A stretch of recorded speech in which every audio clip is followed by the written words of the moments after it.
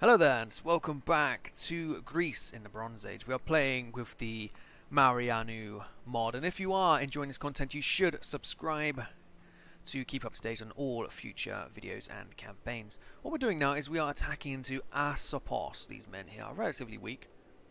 They're not as weak as our other foes and they do have a friend who isn't actually in the war.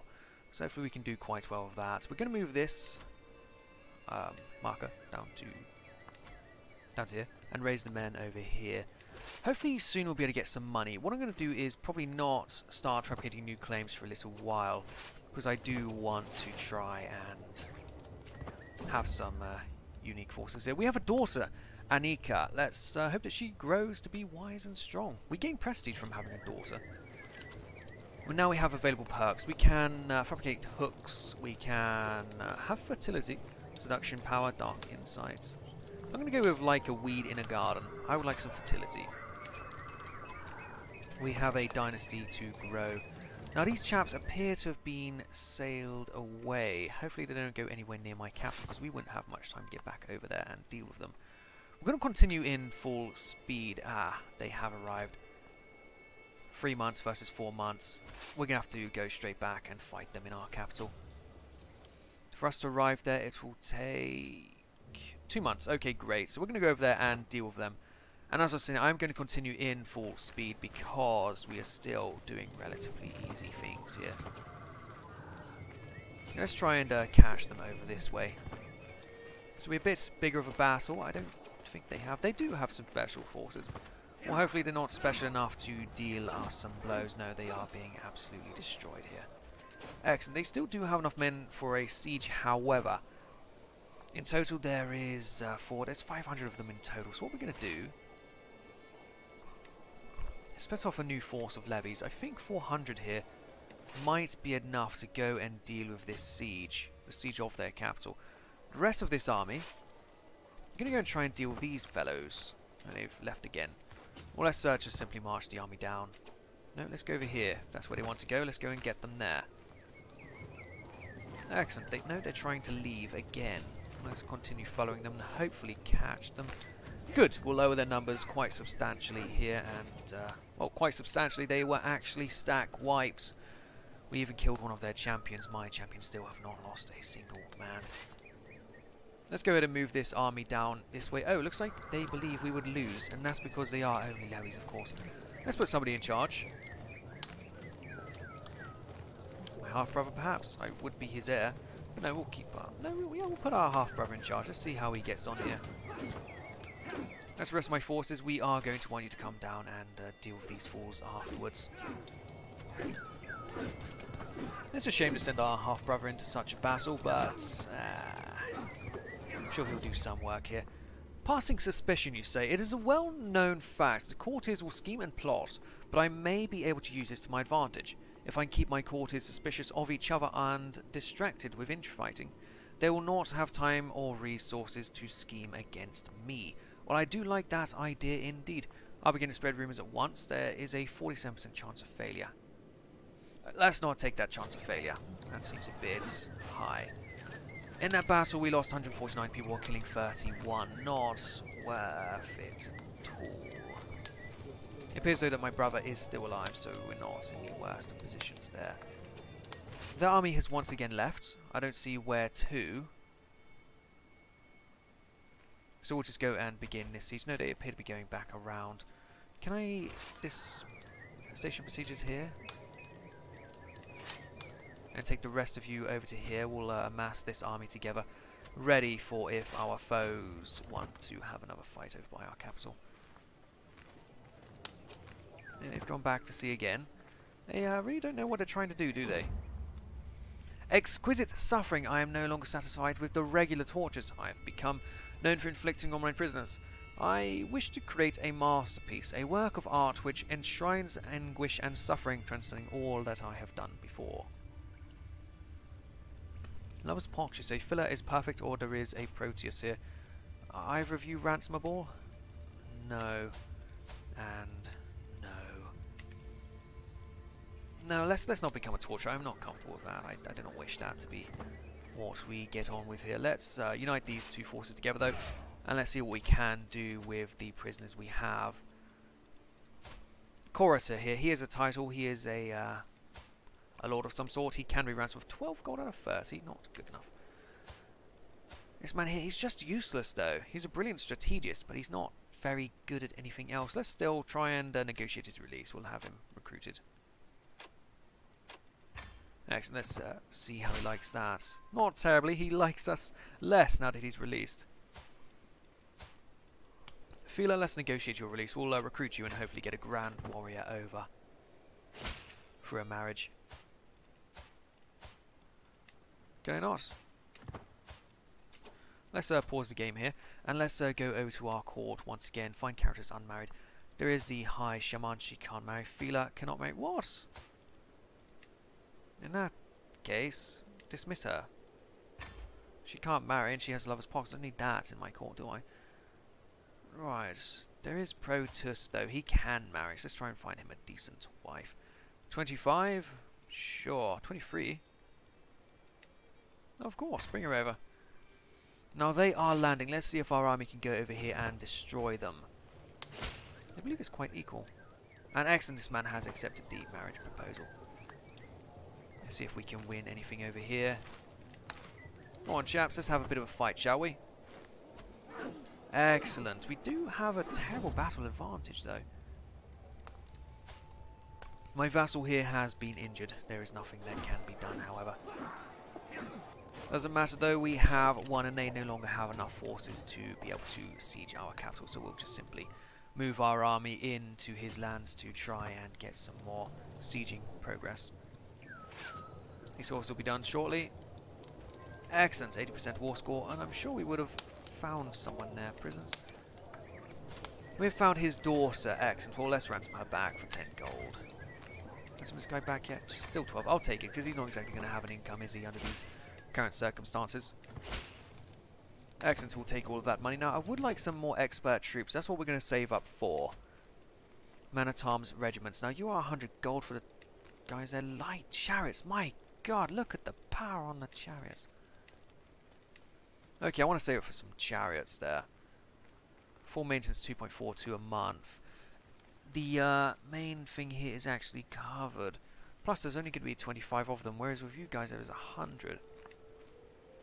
I think it's still worth having just 25 of you. Let's uh, let's keep waiting for chariots then, I suppose. We could go on a raiding expedition, and that would allow us to have everything there. Is he able to seize my... He is! How many people are in my capital? 276. Uh, Just like the other children his age, my son and heir Perseus sometimes lies and tests boundaries. However, he often avoids suspicion with his sweet demeanour and people always forgive him when he get, does get caught. I wonder just how much he gets away with. He has gained charming. Right, we have this siege here and this siege here, which are going to finish before that. Likely. Let's uh, let's risk it here for a biscuit. Let's try and gain 100% before he wins my siege. And we have done just that. In fact, he did actually take my capital. Um, or less enforce the demands before he's able to do anything with it. Excellent. We have gained more land, and we can't personally hold it. Let's expand our forces. And try to save up some money for a short moment. We're above our domain limit, of course. Let's see what I could do. We could try and find a new lord in the realm. Let's reset to defaults. And let's sort by prowess here. Ayet says he's not that great, actually. Nobody's going to be that great, are they? But still, let's grant him the title down here, perhaps. No, let, us let's grant some land to my son. He's old enough, isn't he? Let's see what I could do with you, though. Let's sort by uh, prestige gain, perhaps. A Minoan here, Princess of Crete. Okay, let's go ahead and go with that marriage. A great match, if ever there was one. Now let's grant him, him some lands here. We'll grant you that and that. Good man. That does take one province away from me personally, but I'm sure we're going to gain that back soon enough. Excellent. Is she the heir at all to this land? No, there is another one. But we could always try and make her the heir now, can't we? And inherits the entire island of Crete. Excellent. Let's uh, let's just wait for a bit though, because I do want the 200 golds that we can go through with that. No prisoners anymore. We could go through decision pilgrimage, circumcision. I don't want to do any of that. Cancel. Just leave where they are. My wife is pregnant again. She doesn't seem to know how to stop. Let's have a look at the uh, lordships. However, there is. That's my land. I'm trying to look at this title here. You're part of the kingdom of Freya. Ah, so that'd be the duchy, yes? So I can't go ahead and uh, create anything for you. I don't hold Freya personally, this guy does. We could hide him underneath my son and make my son a higher lord, but let's not. I do like having people directly underneath me. I even He's not even directly underneath me. Okay, well let's go ahead and create this if I can. No, it's going to take money. Okay, well, let's not worry about that then. I want my 200 gold. I want my chariots. Petty neighbours are going to war with each other. Good for them. Another son. Excellent. We'll name him... Uh, after me again, yes. Achilles, of course. May you grow to be strong and wise. Or we can have him killed. We'll gain stress and piety. Let, us not do that. Let's go ahead and name him Achilles. You're allowed to have two sons at least, aren't you? Surely we do have the money now, however, so let's go ahead and recruit some light chariots, some great pursuits there. They are going to slaughter everyone. Very good, now let's get our cancel here to start fabricating more claims. We'll fabricate a claim on this man over here. He's relatively weak and right there on that border. My dynasty is now known far and wide. Let's have a look at my dynasty. Legacies, uh, a little bit of renown at the moment. Yeah, let's try and get this uh, Splendor up, shall we? It would be great. And I can unlock a new perk there. Removes your attraction penalties in seduction schemes. Seduction power scheme, I'm not so interested in that. Truth is relative, could be useful, but what I want... Plot power. Plot power is down this way, so let's go ahead with that. My uh, fertility, though, is doing very well. Free children free. Greetings, my liege. It seems that my dealings with Damakos, uh, Damokoros Aidmeneos, I have accidentally made certain promises of exemptions from his obligations. I have tried, but I suspect there might not be any other way out of this by now. You fool. You fool of a man. We should probably replace him then. Amphiwalos. Is there anybody better at your job than you? No. He is still the best man for the job. Out of the lords, of course. Because that is all that really matters. Marshal. No, it appears we've got everyone who's best at their jobs in their jobs. So go ahead and leave them to it. Very good. So you are... Lau Lauagatas is above... Well, not Prince, but Domokoros. Okay. We'll learn this as we go. Oh, also, you enjoying being part of this realm, my vassal, and Heck what, what I? Of love and lust. They, those dreaming expressions and wistful sighs can only mean one thing. My brother is longing for romance. Perhaps I should put my matchmaking skills to test and ease his sufferings. He would surely be grateful. Yes, he won't be lonely for long. In order to find Megapente's perfect match, I must know more about his preferences. By discreetly observing his interactions at court, I could get a glimpse of his innermost desires. Perhaps I get started, or before I get started, I should have a theory in place. What do I think he would want in a partner? Now, he's not very good at anything. Attractiveness, he's callous, lazy, arrogant. Doubt he would like someone who's like him. So let's go with uh, attractiveness or power influence. Aaron's lazy. No, he's not in power. Let's go with uh, attractiveness. A claim again, see it done. We'll be in debt for a little bit. But that's fine by me. We'll get out of there soon enough. I have observed him for some time now, and my conclusion is certain I was mistaken. He does not seem to differentiate between those blessed with good looks and those who are plain. He must care more for personality, or power. Now as I am a little more acquainted with his desires, I have made a list of potential matches. Who would he like best? Kleino? The High Shaman or Croator. Corthor. Uh, what is he? Oh, he's a heterosexual man. So let's not pick the other man. Let's go ahead and pick the woman here, Cleano. She is lustful herself. To get a first impression of the equal quality of my match, I hosted a small dinner with both of them as guests on the list. I do did not see any definitive signs, but they did get along very well. I must strike while the iron is hot, giving them both another chance to meet. This time I'll arrange something more exciting, an opportunity for them to share a common interest.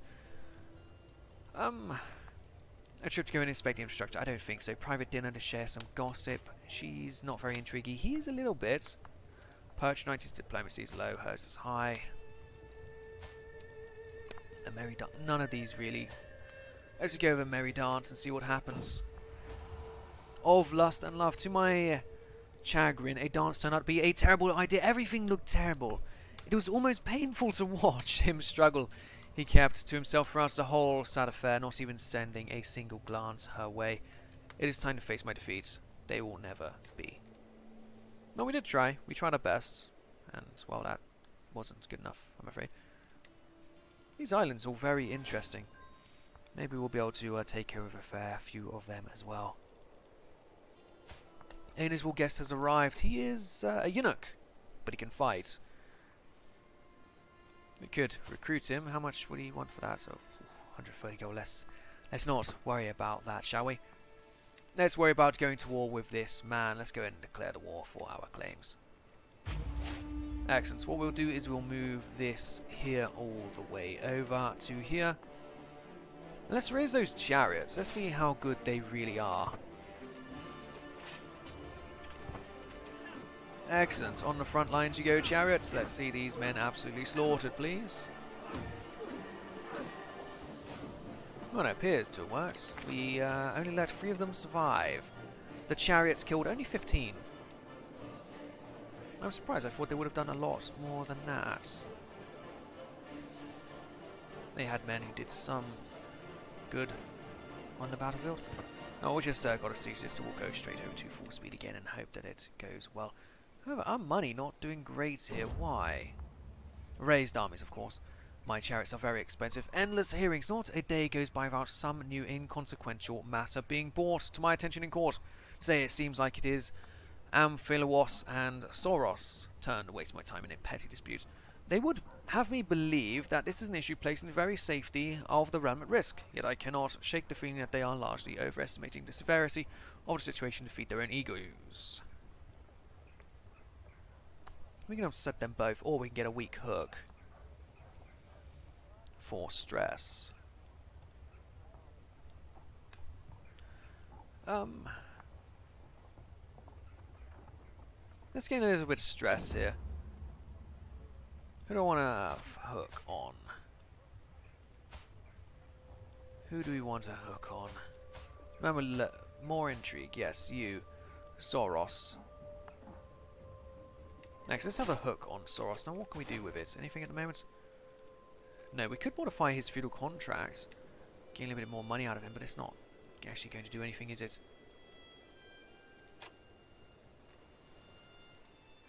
We'll have him protected but paying more tax. Sure.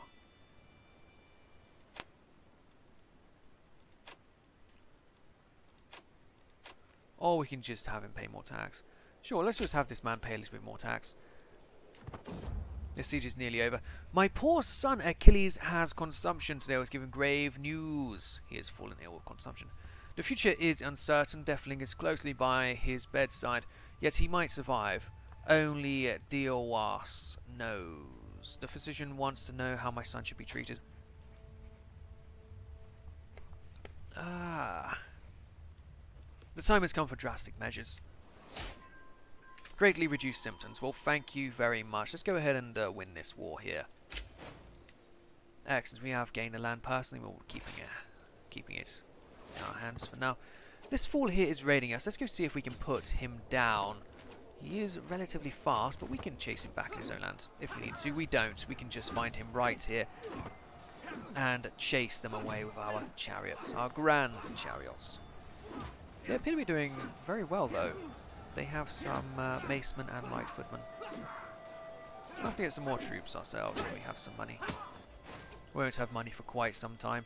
But we have defeated them. We uh, lost half of what we killed. Chariots did very good. Didn't even lose one. Achilles. A spineless lackey. That's the man you have on the front lines, is it? A resentful follower. Yes, your, your forces are definitely definitely the kind of people you want on the front line. Now we have four months. Are we able to go over here and siege his capital? No, we probably could go over and raid though. It's just uh, no one's going to be disbanded. Why? Why can we not be disbanded here?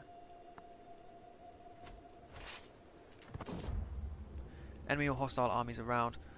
Um, Mykene's Lament. We need those resources for the troops. If one small village in Mykene has to starve. The heated argument between my councillors follows me out of the room. And Wanu Kwan, the representative from Mykene, greets me with tired eyes as I approach.